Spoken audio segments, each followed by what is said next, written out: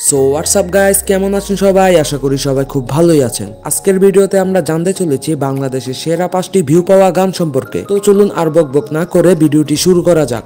তো লিস্টের পাঁচ নম্বর অবস্থানে রয়েছে দিল দিল দিল গানটি।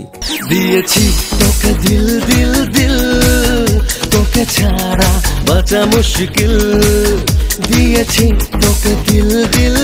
গানটি ছয় বছর আগে ইউটিউবে আপলোড করা হয়েছে এবং বর্তমানে গানটির ভিউ হচ্ছে একশো তিন মিলিয়ন। আসলে গানটি মাস্টারপিস ছিল। তো চার নম্বর অবস্থানে রয়েছে মোস্ট ট্যালেন্টেড সিঙ্গার আরমান আলিফের গাওয়া গান বেমান গানটি।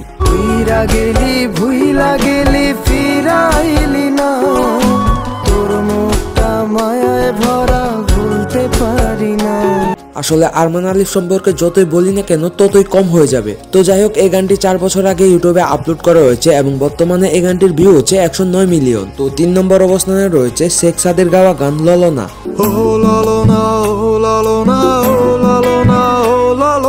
তুমি আমার মনটা বুঝো না। ও লালো না তোমার গানটি তিন বছর আগে ইউটিউবে আপলোড করা হয়েছে এবং বর্তমানে এই গানটির ভিউ হচ্ছে একশো তেইশ মিলিয়ন। তো যাই হোক, দুই নম্বর অবস্থানে রয়েছে তোর মন পাড়ায় গানটি। তোর মন পাড়ায় থাকতে দে আমায়।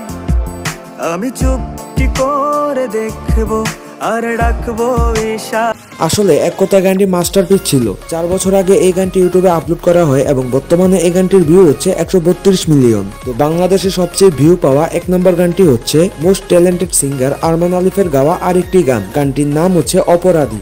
একটা সময় তোরে আমার সবই ভাবিতাম। তোরে মন পিঞ্জরে যত্ন করে আগলায়া রাখতাম। আসলে আরমান আলিফ একটা জিনিয়াস আসলে বাংলাদেশের তরুণ ছেলেরাও অনেক এগিয়ে আছে। তার একটি উজ্জ্বল প্রমাণ হচ্ছে আরমান আলিফ তো গানটি চার বছর আগে ইউটিউবে আপলোড করা হয়েছে এবং বর্তমানে এই গানটির ভিউ হচ্ছে তিনশো সাতচল্লিশ মিলিয়ন তো গাইস এই ছিল বাংলাদেশের সেরা পাঁচটি ভিউ পাওয়া গান। মোবাইলে রাখার জন্য এই পাঁচটি গান কিন্তু পারফেক্ট তো যাই হোক লিস্টে থাকা কোন গানটি আপনার পছন্দের সেটি অবশ্যই কমেন্ট বক্সে জানাবেন। আজকের জন্য এই পর্যন্তই। ভালো থাকবেন, সুস্থ থাকবেন। আল্লাহ হাফেজ।